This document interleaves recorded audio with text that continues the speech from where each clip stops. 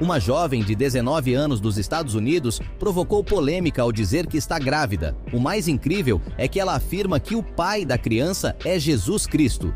Isso aconteceu lá no ano de 2016 e o caso ganhou tanta repercussão que foi parar até na TV. A jovem acredita que a gestação tenha sido resultado de uma bênção promovida por Jesus.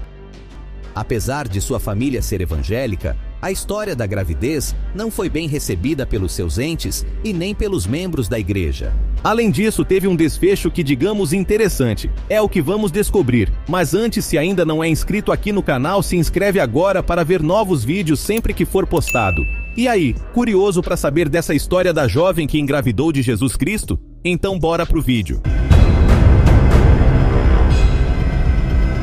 Pois o que nela é gerado é o Espírito Santo dará à luz um filho. Haley, uma jovem americana de 19 anos, percebeu que sua barriga estava crescendo e logo ela deduziu estar grávida. E como ela não tem nenhum parceiro, acredita que o pai é Jesus Cristo. Eu tô passada, chocada.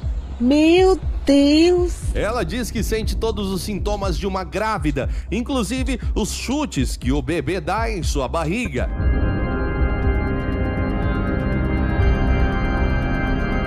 Nem sua família, nem o pastor de sua igreja acreditavam na história e todos os testes de gravidez deram negativo. Mesmo assim, ela insiste que em breve todos verão que ela está falando a verdade. Diante disso, a família levou a jovem a um programa de TV do Dr. Phil Show, onde realizaram um ultrassom ao vivo para descobrir o que tinha na barriga da jovem. E foram aí que tiveram uma surpresa.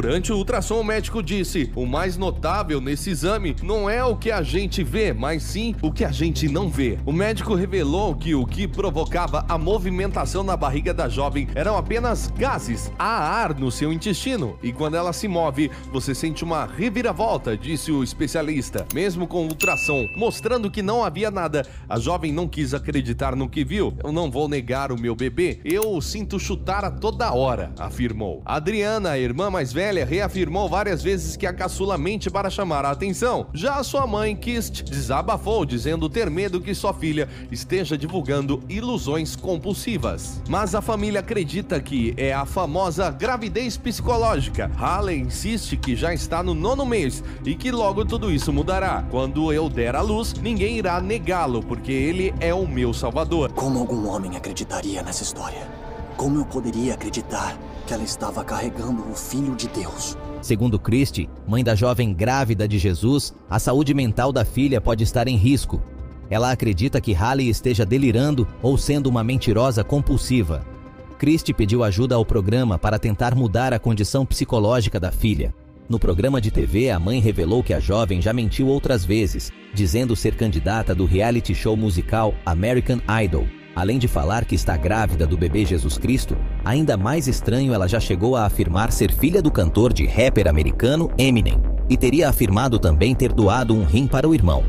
Para os estudiosos no assunto, a jovem sofre de mitomania, que é um transtorno psicológico caracterizado por contar mentiras compulsivamente, sem benefícios externos e geralmente restritos a assuntos específicos, como família ou amigos, apresentando-se de maneira bem vista socialmente. A mitomania é algo muito grave e tem um efeito enorme na vida das pessoas porque a partir da mentira eu começo a acreditar e viver numa ficção ou numa fantasia. O mentiroso compulsivo é aquela pessoa que precisa sempre reinventar os acontecimentos ou engrandecer.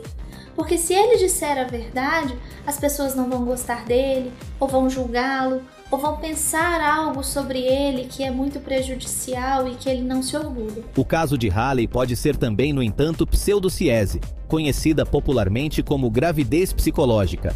Essa é uma síndrome rara que leva a mulher que não está grávida a acreditar que está esperando um bebê. Existe a chamada gravidez psicológica e existe a chamada falsa gravidez, né? A psicológica, a paciente ela tem, ela acredita e ela sente a gravidez no corpo e na mente. Já uma gravidez falsa seria às vezes um momento em que uma, uma, uma senhora, uma mulher, ela ela inventa, ela cria aquilo para as pessoas pensarem que ela está grávida, mas na verdade ela sabe que não está. A pseudociose leva o corpo a apresentar sintomas típicos de uma gravidez, incluindo ausência de menstruação e aumento do volume abdominal. E aí, o que você achou do caso dela? Comenta aí, compartilhe com seus amigos e até o próximo vídeo.